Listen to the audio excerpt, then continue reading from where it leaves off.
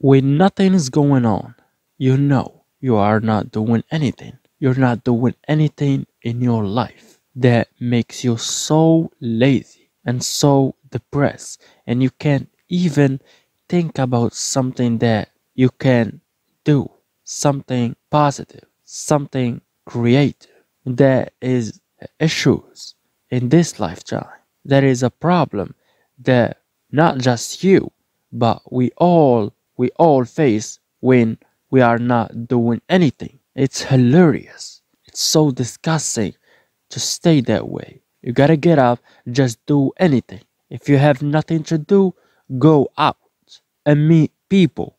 Meet people not on your level, people who are already where you want to be. Meet people who already know what you want to know so you can get it. Someone said, if you ask and keep asking, the answer belongs to you.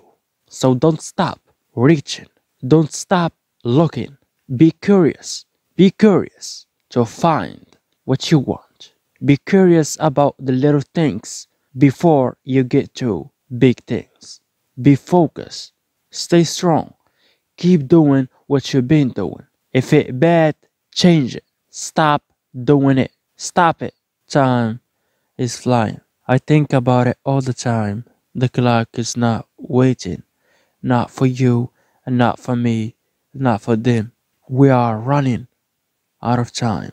It's so bizarre for us to waste this time that we knew it's not coming back. After you spend it, it's not coming back.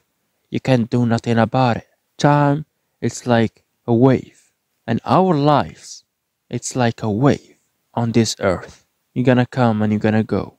It doesn't matter what you think, who you are, what you do. What does matter, what you're gonna leave after you. Because when you are here, walking on this earth, no one gives a shit except if you are making an impact, if you are making something that influencing other people. They should not care about you, but you should care about what are you giving them? What are you prepared to give them? What are you ready to create, to produce, to make it out in the public? And some people might accept it, might not.